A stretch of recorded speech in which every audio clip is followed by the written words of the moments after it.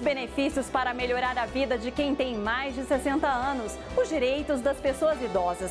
Quase 1 milhão e 700 mil carteiras para essa população foram emitidas nos últimos sete anos. Tempo que eles conquistaram mais direitos. Além do aumento da cobertura de vacinas, também foi ampliada a oferta de medicamentos a essas pessoas.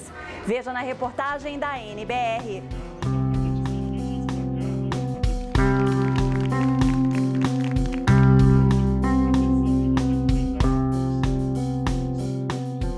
Os idosos já representam 13% da população brasileira. São cerca de 26 milhões de pessoas com mais de 60 anos, de acordo com dados do Instituto Brasileiro de Geografia e Estatística, o IBGE. Hoje, a expectativa de vida no país é de 73,6 anos. E com a população vivendo mais tempo, é preciso garantir ações que permitam uma melhor qualidade de vida aos idosos. Nos últimos anos, por exemplo, para melhor atender quem tem mais de 60 anos, profissionais que trabalham na atenção básica do Sistema Único de Saúde recebem capacitação. Além disso, foi ampliado o acesso a medicamentos contra asma, hipertensão e diabetes, doenças comuns na faixa etária. Com 79 anos, Dona Rosa tem diabetes e pressão alta. Os medicamentos ela busca todos os meses na farmácia popular. Se tivesse de comprar, ia lá uns 500 reais. Uma outra medida para garantir mais qualidade de vida à população idosa foi o aumento da cobertura vacinal contra a gripe. Seu Elvio, de 73 anos, conta que sempre toma vacina. Depois que começou essa vacinação, eu praticamente gripe, ameaça de pneumonia, essas coisas eu afastei completamente. Não sinto problema algum.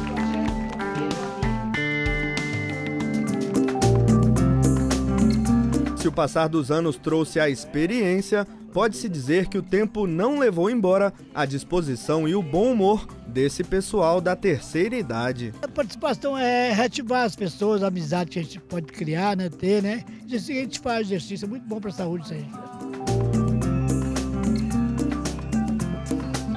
Esse grupo levanta cedo para se reunir três vezes por semana aqui em Brasília.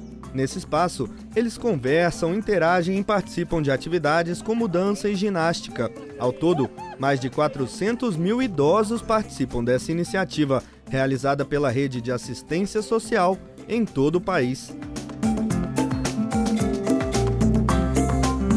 Essa iniciativa é chamada de Serviço de Convivência e Fortalecimento de Vínculos, voltada para a qualidade de vida de idosos e que atende mais de 12 mil grupos da terceira idade no país. Aí, gira para o outro lado.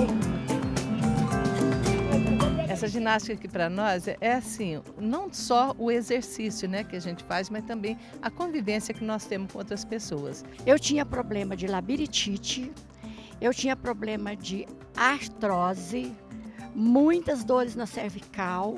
E a minha amiga falou aqui da nossa ginástica aqui do CRAS e eu senti vontade de vir. E vi, experimentei, com um mês eu já estava bem melhor.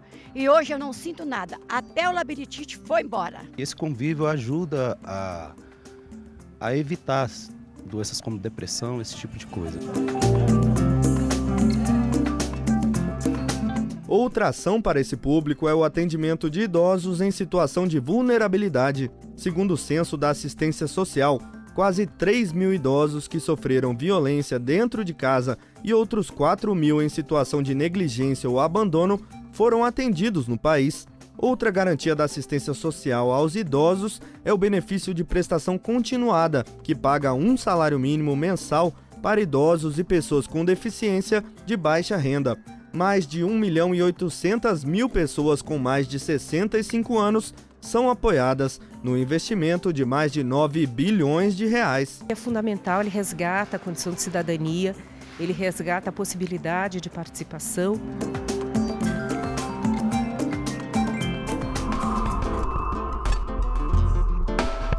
Aos 76 anos de idade, seu antenor viaja pelo menos uma vez ao ano com a família.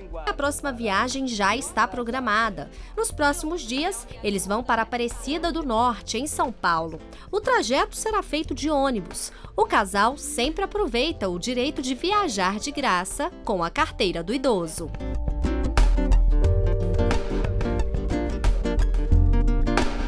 De acordo com o Estatuto do Idoso, as empresas de ônibus interestaduais devem reservar duas vagas gratuitas em cada veículo para quem tem mais de 60 anos e tem renda mensal de até dois salários mínimos por mês.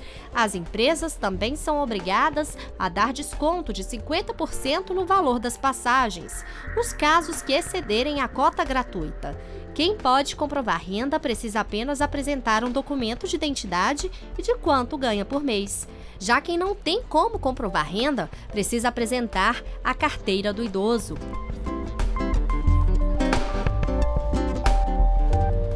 Desde 2007, já foram distribuídas quase 1 milhão e 700 mil carteiras do idoso. O cartão, ele, ele também é concedido através das, dos gestores municipais é, de assistência social, que entram no sistema informatizado, coordenado é, no âmbito federal e que é, indica a necessidade, a condição de vulnerabilidade que esse idoso vive e, portanto, dá direito a, a uma previsão também legal de acesso a passagens gratuitas, né?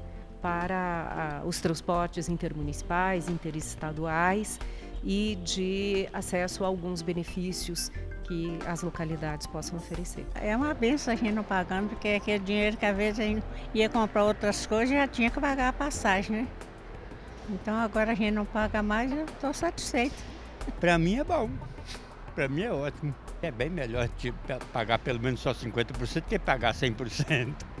E melhor que quando a gente viaja 100%, igual eu vim de, de Rondônia para cá sem, sem pagar. O idoso já está velho, ele quer dar uns passeios e, e sem pagar nada, é me